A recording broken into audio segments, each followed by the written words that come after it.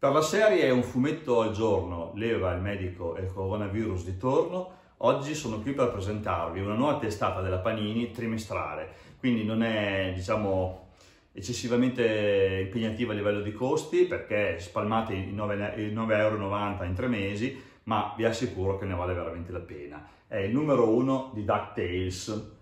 Ricorderete che qualche anno fa in tv facevano vedere i cartoni animati di Zio Paperone con i, con i Quico qua e Paperino che andavano in giro per il mondo, facevano scoperte, era molto avventuroso, una saga molto avventurosa. La copertina è cartonata come vedete, sapete che mi piace farvi quindi una bella costa, stile Marvel, vedete come, come i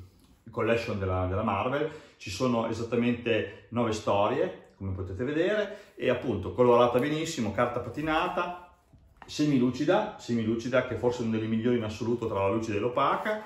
disegnata veramente molto molto molto bene, con, tec con tecniche moderne. Eh, ripeto, questa è una serie che eh, eh, vi può fare, diciamo così, in questi momenti in cui si deve stare in casa per, per, per, appunto per il rispetto che si ha per se stessi, soprattutto per gli altri,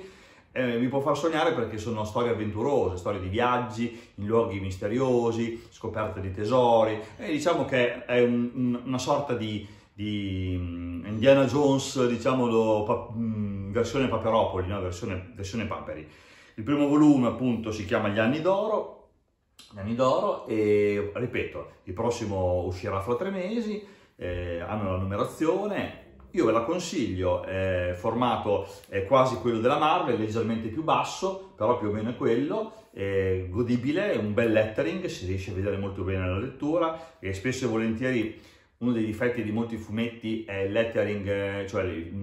le scritte nei fumetti che sono molto piccole no? e chi ha problemi di vista, soprattutto se è over, over 40, magari anche con gli occhiali da presbite fa fatica a vederli. Quindi io ve li consiglio con tutto il cuore, è una bella testata, ripeto, potete spalmare i 9,90 euro in tre mesi, quindi l'impatto che ha su, su di voi sono circa 3,30 euro, insomma non, non, è tantissimo al mese, ok? Ve la consiglio, DuckTales numero 1 per la Panini Editore. Ciao a tutti, mi raccomando, restate a casa.